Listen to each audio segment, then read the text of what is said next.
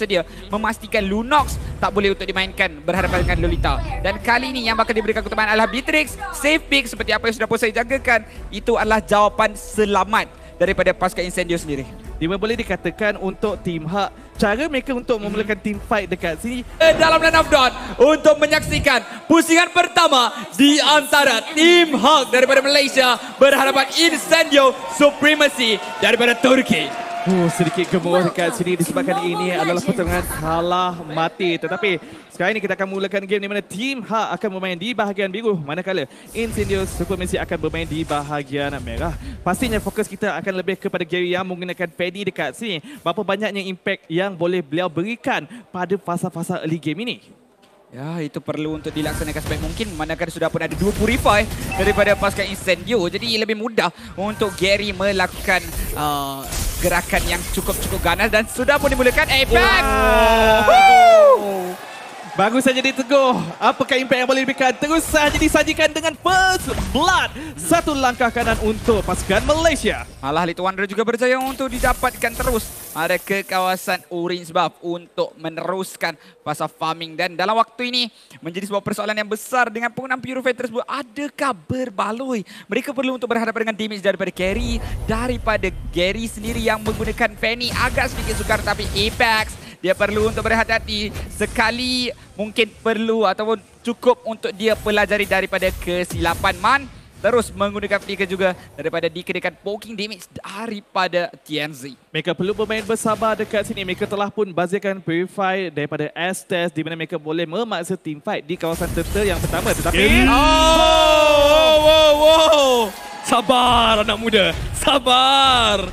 Wow. Tak sempat nak cakap, dah pun berjaya untuk mendapatkan kill Macam yang mana nak kedua. cast ni? Tak tahu. Kita tak habis cakap lagi. 0.2 saat diperlukan oleh Gary untuk bantu mendapatkan kill sebentar tadi Karakuri. Dia macam kapal terbang lipas lalu kita tau.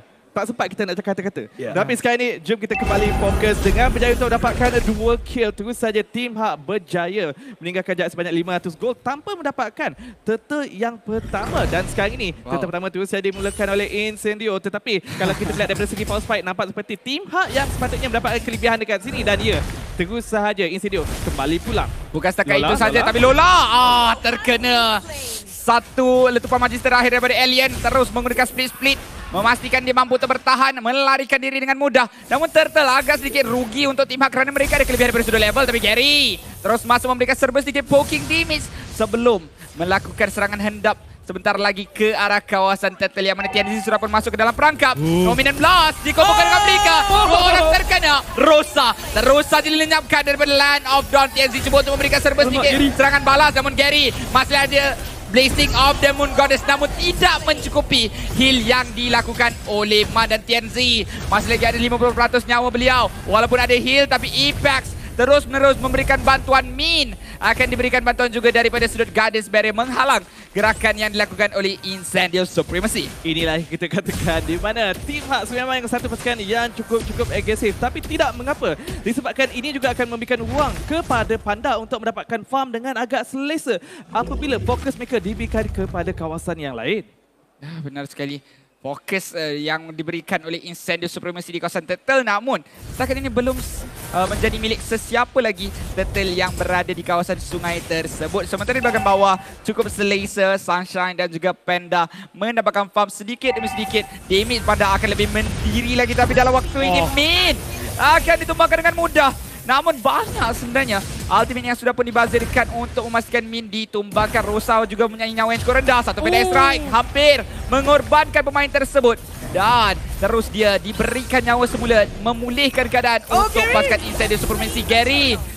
Sudah membazirkan retribution tersebut. Informasi ada. Purple buff masih lagi belum berjaya untuk dihabiskan oleh pemain ini. Dan serangan belum lagi diakhiri oleh pasukan Incendio Supremacy. Agak bahaya mungkin beliau berkemampuan untuk kehilangan kedua-duanya tetapi Incendio tidak bergerak terlampau agresif dekat sini tak memaksa untuk pasukan Hak kehilangan segala-galanya di mana ini masih lagi membenarkan Gary untuk bergerak dengan fleksibel. Kita selalu nampak yang Fanny sering kali menggunakan high end drive. Tapi kali ini dia menggunakan of blood. Adakah itu pilihan emblem yang sesuai ketika game kali ini? Okey, untuk Festival of Blood di sini. Dia tahu pasukan musuh menggunakan komposisi yang lebih ke arah sustainability dengan pembawaan Aztecs. Betul, tak adanya uh, crowd control yang besar. Namun dengan nyawa yang boleh untuk ditambah kembali, dia perlu untuk lakukan kiting, perlu untuk lakukan poking dan itu boleh untuk dilaksanakan sekiranya dia menggunakan apa yang berlaku sekarang ni Shan-Shan?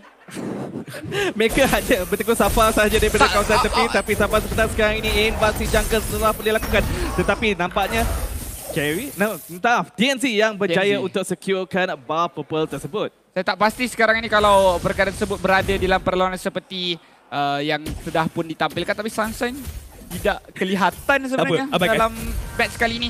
Dan dalam waktu ini daripada sudah itemization yang sudah pun dilengkapkan uh, satu item untuk masing-masing pemain sudah pun berjaya untuk disiapkan nak uh, hanya meninggalkan Roma saja yang belum melengkapkan diri dengan sebarang item. Kita kita saksikan terlebih dekat bahagian tengah ini. Oh, Oh. that's right. Tidak berjaya untuk dapatkan sesiapa tapi dekat bahagian bawah juga. Gary. Nyawa yang cukup-cukup rendah. Sunshine akhirnya dengan penggunaan flicker dengan berani mendapatkan kill ke atas Gary. Kematian yang kedua buat Assassin Malaysia ini. Nampaknya mereka mengambil team fight di mana mereka tak bersedia. Manakala sekarang ini Panda perlu berhati-hati dikelilingi oleh empat ahli pasukan Incendio. Tetapi Min telah pun tiba. Oh Min perlu untuk bergerak dengan lebih Alamak. Berhati-hati sebenarnya dan dia akan dikorbankan dengan cukup-cukup mudah. Malah menara akan berjaya untuk didapatkan secara terus oleh pasukan daripada Turki ini. Memberikan tumpuan pula kepada Turtle. Satu demi satu objektif dilepaskan. Memberikan peluang untuk pasukan Incendio Mara dengan kedudukan ekonomi yang jauh lebih unggul 2.5, 2.9 sekarang dan Elliot melakukan Masih lagi berjaya untuk menyelamatkan diri dengan adanya flicker. Tetapi Rosa feather airstrike. Oh, lihatlah bagaimana damage yang cukup besar dilepaskan Min. Penetrate. Min hampir saja dikorbankan tapi menara yang tetap akan diruntuhkan. Pertahanan yang gagal sekali lagi daripada tim Hawk. Dekat mana silapnya sebenarnya pasukan tim Hak lakukan sebab awal tadi nampak sangat-sangat cemerlang tapi kat mana titik sebenarnya mereka melakukan kesilapan yang menyebabkan pasukan Incendio mampu untuk mendapatkan 3.5 ribu gol ini. Bagi pendapat saya di mana nampak seperti setiap team fight yang mereka lakukan seperti Team Hak masih lagi belum bersedia untuk melakukannya dengan kemas manakala perkara yang sebaliknya boleh dikatakan untuk Incendio Supremacy terutamanya Rosa.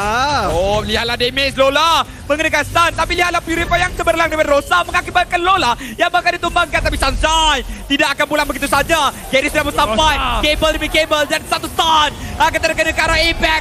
Terus hilang tiga orang pemain daripada pasukan Incendio Supremacy. TNC baru nak sampai tapi damage daripada Panda cukup cukup mengerikan. Terpaksa pulang dengan nyawa 50% yang masih lagi berbaki dan membiarkan saja menara ini untuk diruntuhkan oleh pasukan Hawk. Dan dengan kemenangan team fight sebentar tadi terus sahaja menguangkan juga perbezaan sekarang ini hanya tinggal satu gol sahaja yang membezakan kedua pasukan.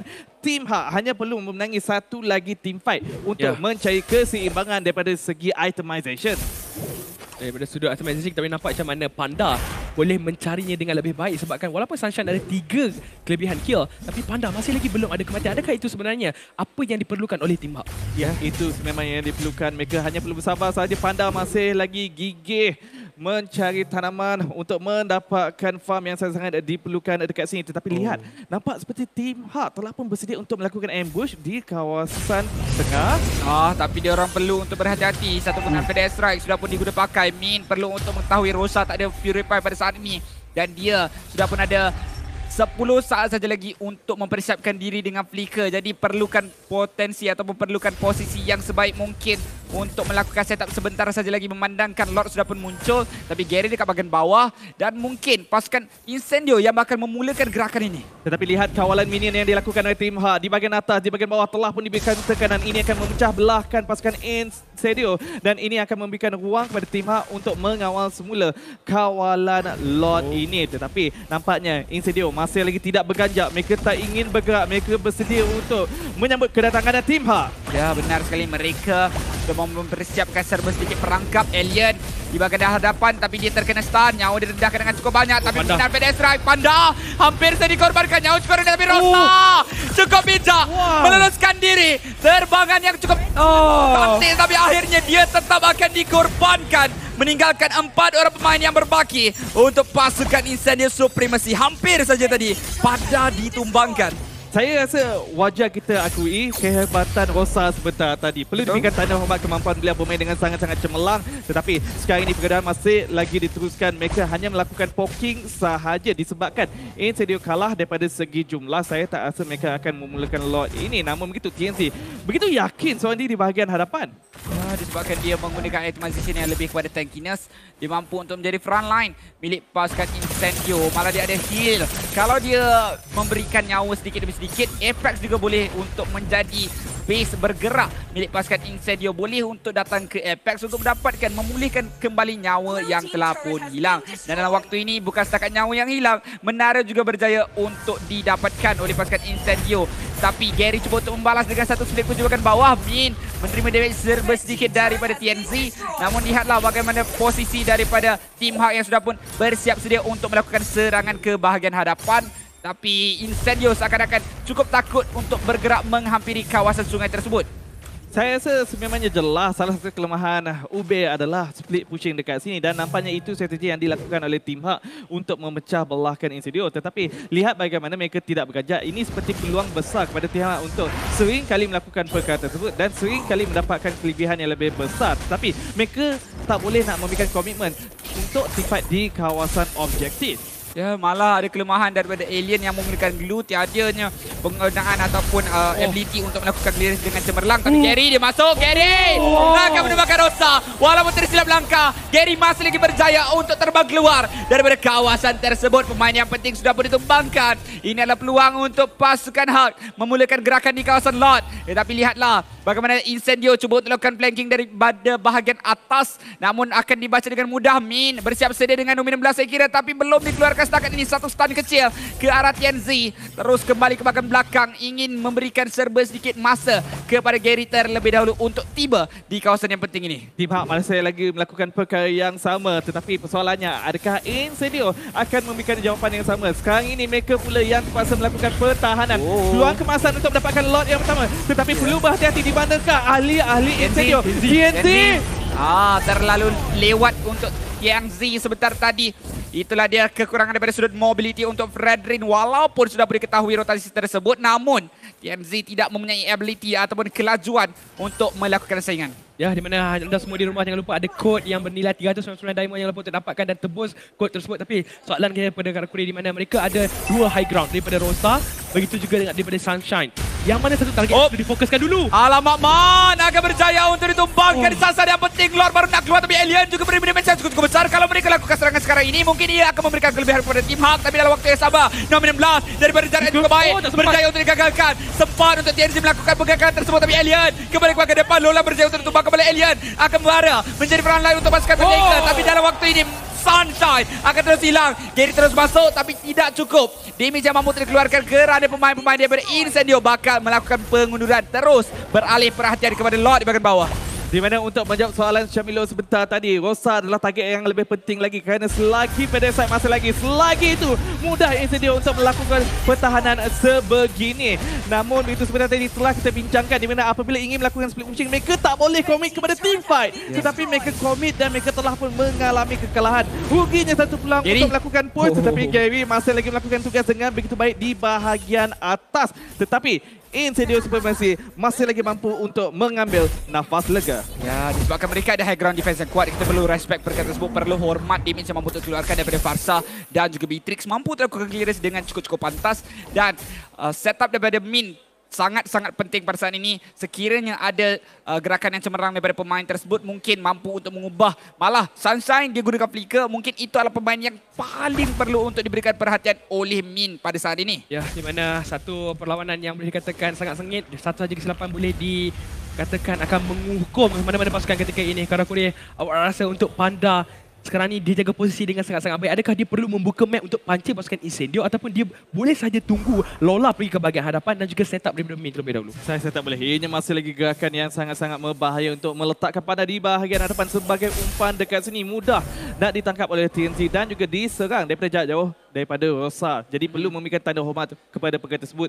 Min dan juga Lola masih lagi memikul tanggungjawab untuk membuka map dan kemudian mencari jalan seperti yang Sunforce katakan melakukan setup yang betul-betul betul cantik membenarkan mereka mendapatkan kelebihan yang besar untuk memulakan team fight. Tetapi lihat bagaimana formasi gerakan Incendio yang sentiasa bergerak bersama-sama menyukakan keadaan. Tetapi kalaulah orang satu disedari dan ditangkap sekarang ini, ini akan menjadi masalah besar kepada Incendio. Namun sekarang ni dalam pertempuran yang akan datang mungkin akan ada satu game changer yang bakal berlaku kerana sudah pun ada Win of Asia dan juga Winter Tranchant untuk Rosa dan juga Sunshine. Jadi menjadi uh, sebuah tanggungjawab yang lebih besar untuk Lola memastikan ultimate ataupun uh, skill set daripada pemain-pemain mereka ini mampu untuk dikeluarkan dengan lebih awal memudahkan Gary untuk mendapatkan target di bahagian backline nanti. Dan sekarang ini kalau kita melihat di mana Team Heart seperti ingin bermain melakukan serangan hendap tetapi Incendio tak memakan umpan, tak mencuba untuk membuka map di kawasan tersebut. Tetapi kali ini kita melihat di mana mereka mengalihkan perhatian mereka seperti ingin menjatuhkan alien tetapi Glue bukanlah target yang mudah nak dijatuhkan dengan begitu pantas terutamanya dengan adanya split split dan juga immortality. Ya benar sekali. Cukup sukar tapi kali ini menjadi sebuah persoalan mengapa tim Hak pula yang berada di bahagian kanan Lot berada di bahagian kiri ada keselesaan untuk pasukan Incendio. Mereka sudah pun mula untuk lakukan poking damage. Magic Sentries juga sudah pun dibuka memberikan informasi yang lebih tepat. Lari. Pasukan Incendio menduduki kawasan tersebut dengan jauh lebih selamat. Lot sudah pun tarik tetapi Lot macam keliru. Siapa dia punya tuan sekarang ni? Okey, Incendio nak main tarik tali tak apa. Kita pergi split push dan ini akan memecahkan formasi Incendio dan memberikan peluang lebih besar lagi untuk melakukan team fight. Di mana ini adalah Luminous Slots. Masih lagi akan mengambil sedikit masa. Dan sekarang ini nyawa setengah. Gary boleh sahaja dalam perjalanan telah pun tiba buat ketika ini. Dan ini telah pun memaksa Incendio untuk kembali pulang. Ya, mereka mungkin bakal pulang tapi mereka tak akan berdiam diri. Mereka cuba untuk masuk. KNG di bahagian hadapan memberikan serba sedikit healing daripada Apex Ah. 47. Tapi jalan sudah pun berjaya untuk ditutup. Cukup cemerlang tapi KNG terpaksa untuk masuk. Satu penggunaan pedestrian berjarak jauh tapi Gary memberikan bola kepada Rosa tapi ada Winter Challenge cukup baik tapi satu penggunaan dominant blast mengenai sasaran Sultan. Akan dikorbankan juga. Apex 47 menjadi mangsa. Empat orang gugur saya kira. Malah Alien saja tinggal. Adakah di wipe out? Alien cuba untuk masuk. Cuba untuk Gary, winner. Tapi kenyataan perlu untuk diterima. Pasukan Incendio dalam keadaan yang cukup-cukup berbahaya. Dan tim Hawk akan mula untuk melakukan serangan ke arah base. Alien akan dihiraukan begitu saja. Walaupun dia memanjat. Walaupun dia mencuba. Tapi ini adalah peluang yang jauh lebih besar untuk pasukan Malaysia mendapatkan kemenangan yang pertama. Mata jauh lebih penting. Dan inilah waktu untuk mereka menamatkan permainan. Dengan wow. Wow. mudah. Tim Hawk mendapatkan kemenangan satu berbalas kosong. Hanya perlukan satu team fight. Satu kesilapan daripada pasukan Incendio Supremacy. Team Hawk mendapatkan kemenangan yang pertama. Walau bagaimanapun kita perlu mengucapkan ribuan terima kasih kepada Man untuk mengorbankan diri sendiri sebentar tadi menghalang Alien untuk kembali pulang melakukan pertahanan. Tetapi ya, Team Ha bermain dengan sangat baik. Bermain mengikut kelebihan mereka melakukan split pushing terlebih dahulu, memecahkan formasi kemudian memaksa team fight yang membenarkan mereka mendapatkan kelebihan yang cukup cukup besar. Ya, cukup cukup baik langkah yang pertama dilakukan oleh